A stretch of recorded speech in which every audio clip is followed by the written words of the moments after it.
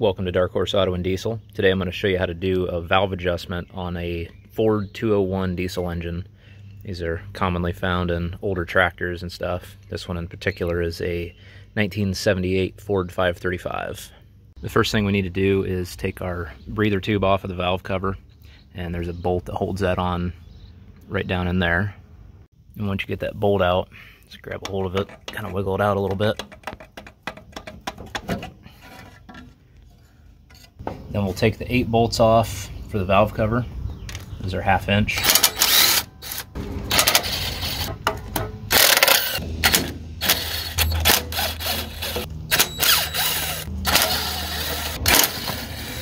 Then carefully, without knocking too much crap into the engine, go ahead and lift this off of here.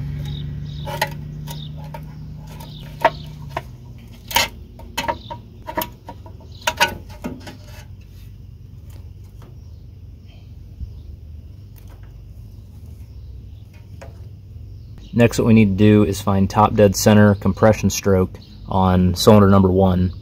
So what you need to do is spin the motor over and if you have access to it, you can get on the crankshaft with a socket and spin it over.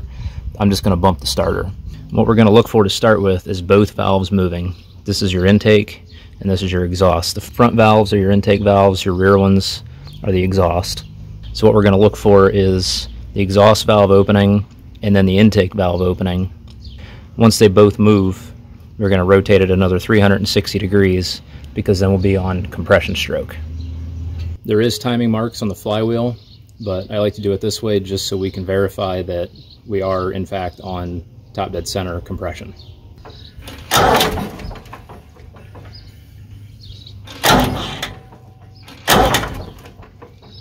So right there, cylinder one, both valves are moving.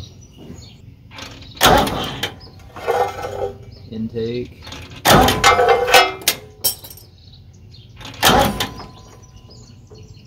There we go. Now we'll get our feeler gauge and feel up in here.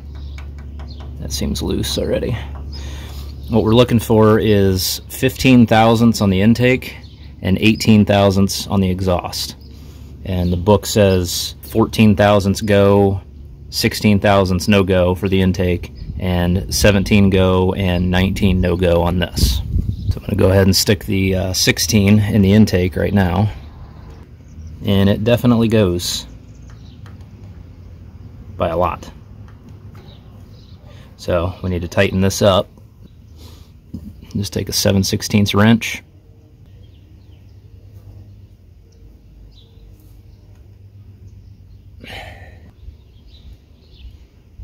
16 thousandths does not fit now. 14 doesn't quite go. Went a little bit too much. It doesn't take much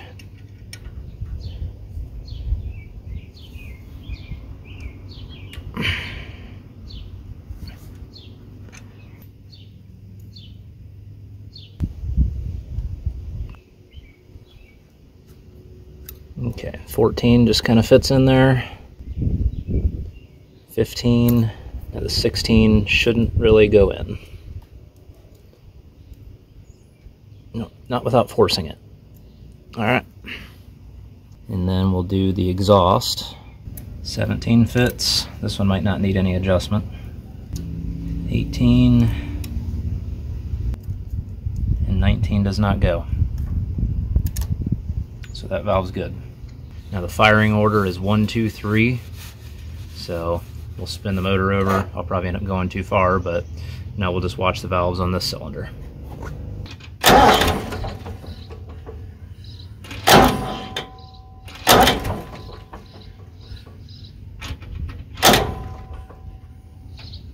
And then repeat the process. And that one, the 16 on the intake, just slid right in, so definitely need to tighten that up.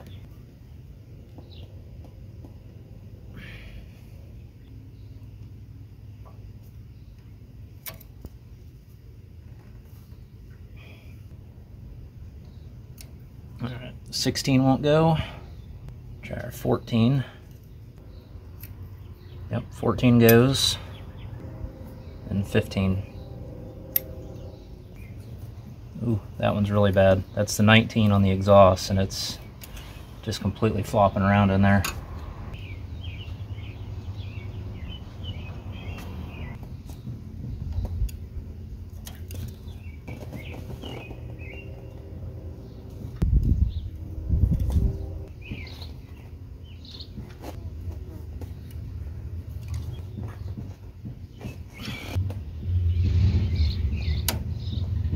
Okay. 19 no go. 17 goes.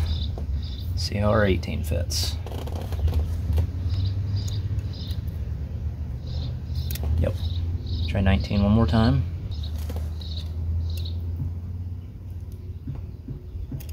Yep. Good on that one. Now for the last cylinder.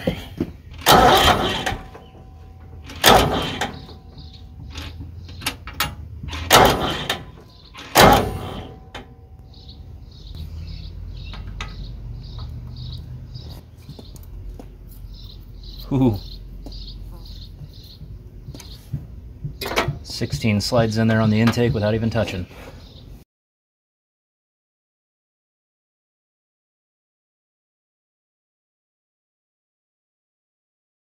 And our final exhaust valve. Oh man, way out.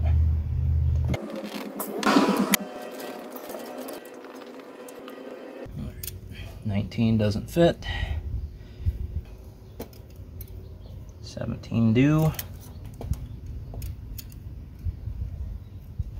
18 just kind of snug. Try 19 one more time.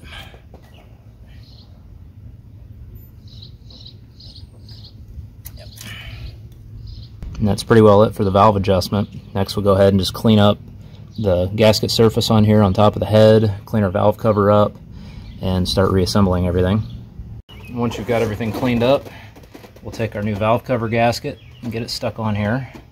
I'll put the OEM part number on the screen right here.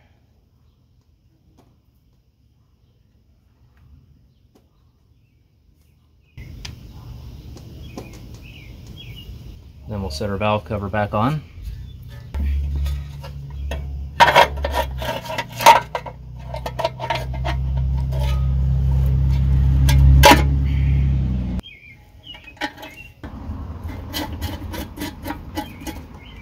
Get all of our bolts started. And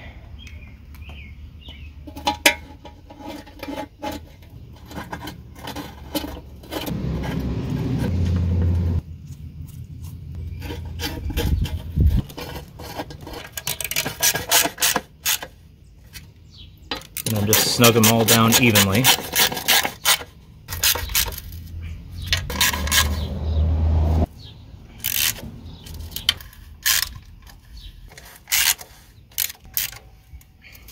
Then go back over them one more time and make sure they're all snug.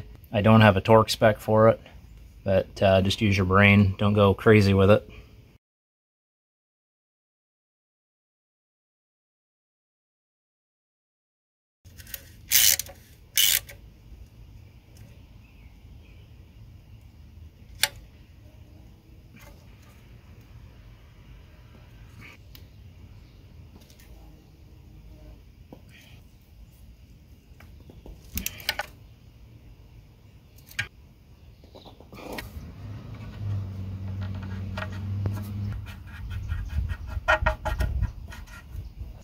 Then we'll get our breather tube put back on.